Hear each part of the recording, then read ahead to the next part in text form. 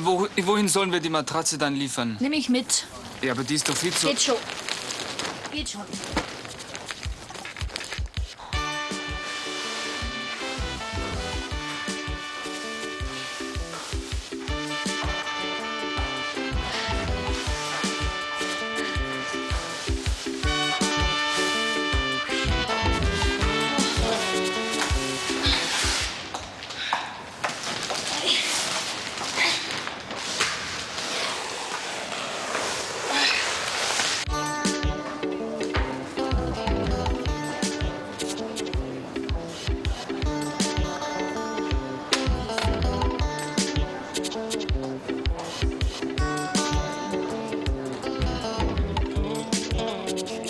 Was Sie da verspritzen, ist für Männer.